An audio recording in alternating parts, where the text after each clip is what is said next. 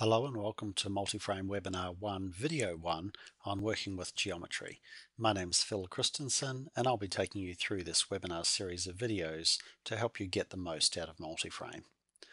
Let's start out by looking at the setup that we must do before we start using the geometry commands in Multiframe.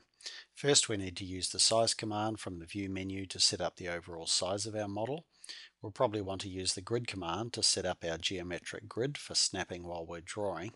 And if we're going to be sketching in 3D, we'd like to use the drawing depth command from time to time to set the location of our 2D working plane. Finally, you'll find the structural grids command useful for setting up structural grids for the key locations of floors and frames within your model. Let's move over to multiframe and see how these commands work in practice. If we start out sketching in the frame window in multiframe, we go to the view menu and choose the size command to set the overall size of our model. So I'm just going to set my model to be 20 by 10 meters and I'm going to use the grid command to set up my geometric grid.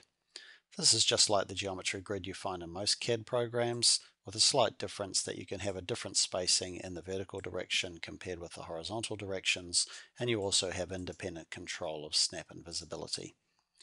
But if that geometry grid is turned on, then if we start sketching to draw members, you'll see that the cursor automatically snaps to the grid and the tooltip shows us our location on that grid. As well as the geometric grid, we have the structural grids. The structural grid manager allows us to create any number of structural grids. So I'm going to start out by creating my first one, which I'll call floor. And this is a grid that lies in the XZ horizontal plane. That means we can define the height of the grid above the origin.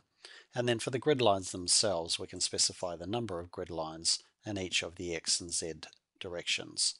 For each of those grid lines, we can give them a name and we can define the location or the spacing between grid lines. So I'm going to make my grid spacing slightly irregular in both directions. So if I click OK and I switch to my 3D view, then we can see we've set up our grid uh, with the slightly irregular spacing and you can see the grid labels on my structural grid. If I start sketching now, then I can easily snap onto those points on the grid while I'm sketching to put points at a desired location either on or off the grid. While we're working, it can be useful to have multiple grids in action. So if I go to my structural grids command again, I'm going to create a second grid. This time I'm going to create it in the vertical XY frame and I'm going to call it frame X. This time the location is defined as a distance forward of the origin along the z-axis. And I'm going to have the same number of grid lines this time, but I'm in the X and Y positions. And so to match with my other grid down below, I'm going to use the same irregular spacing in the X direction.